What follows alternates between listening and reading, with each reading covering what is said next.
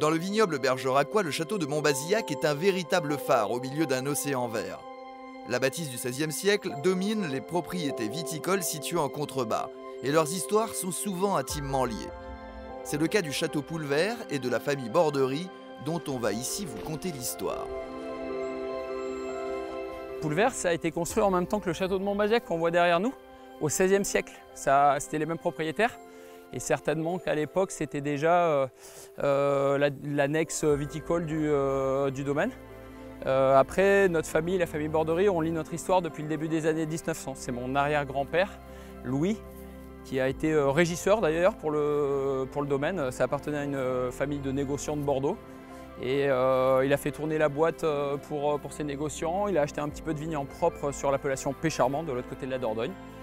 Mon grand-père euh, Gaston a repris sa suite et a acheté un domaine mitoyen de Poulvert euh, sur Montbazillac. Et puis dans les années 70, euh, mon grand-père avec ses enfants devenus adultes ont racheté le domaine. Ça faisait 85 hectares et maintenant on est à 105. On est dans un moment un peu riche où tu as trois générations qui travaillent ensemble. C'est-à-dire que bah, moi je fais partie de la quatrième avec Fred, mon frère, qui est le maître de chez. Euh, papa et mon oncle Francis sont encore là.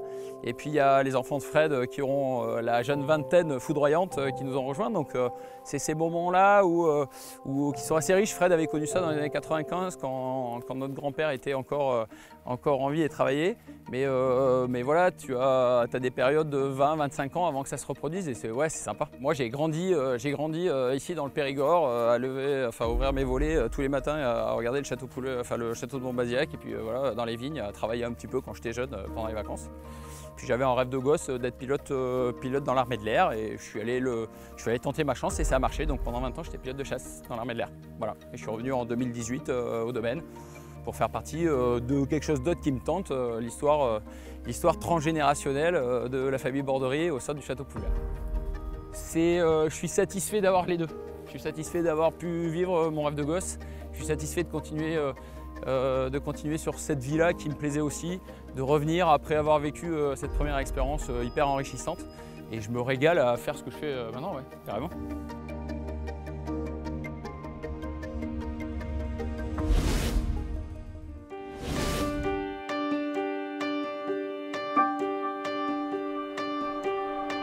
Et à partir du moment où le vin quitte les citernes, on le met en bouteille et on le stocke dans des grands box tels que ceux qui sont derrière moi.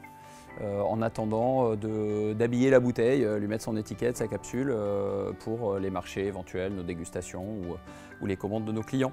Le Montbazillac est un vin liquoreux, pas moelleux, attention, donc vin liquoreux avec un certain taux de sucre résiduel, vin récolté en vendange tardive, à la main exclusivement, à l'instar d'un Sauterne, un Coteau des Layons, un Gewürztraminer d'Alsace. On a quelques appellations comme ça à travailler ce type de vin. Mais on ne fait pas que ça à Poulvert. On est dans un coin de France où on a la chance en 10 km de rayon euh, d'avoir des appellations d'origine contrôlée pour travailler toutes les couleurs de vin. Donc à Poulvert, nous on travaille 6 appellations d'origine contrôlée, des bergeracs secs, des bergeracs rosés, des bergeracs rouges. On a une appellation en, rouge exclusivement qui s'appelle Pécharmant. Code de bergerac moelleux, légèrement moins sucré que Montbazillac, et Montbazillac, donc les liquoreux. Et Frédéric, mon frère, qui est le maître de chez, euh, travaille toutes ces appellations sous différentes vinifications. Ce qui fait que chaque année, euh, à la période des récoltes euh, dans laquelle on va rentrer, on fait 12 références euh, de vin. Voilà.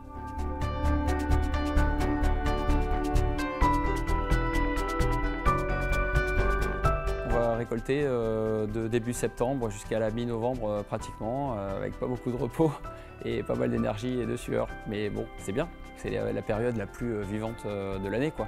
C'est celle, celle, où tu, récoltes le fruit du travail de toute une année, donc c'est super sympa.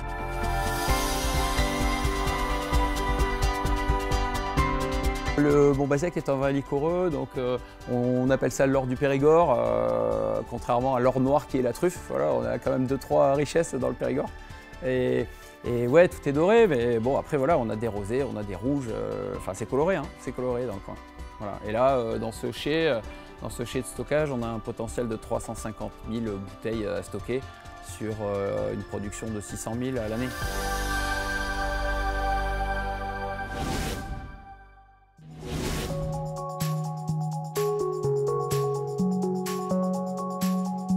Pour qu'un château perdure sur cinq générations, il faut se renouveler. Entre tradition et modernité, la famille Borderie ne manque pas d'imagination.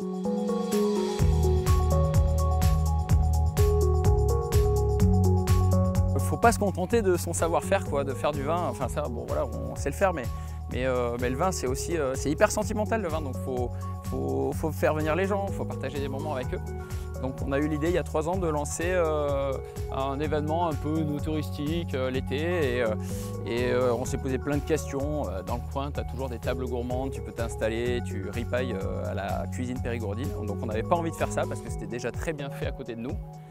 Euh, on a quelques domaines qui accueillaient au château et ça, pareil, on ne voyait pas ce qu'on pouvait apporter de plus. Et nous, on a la chance d'avoir un pré en plein milieu des vignes avec un coucher de soleil euh, magnifique euh, sur un coteau planté de vignes et puis un peu comme ça avec un chêne au-dessus. et on a lancé nos apéros sunset du château Poulvert.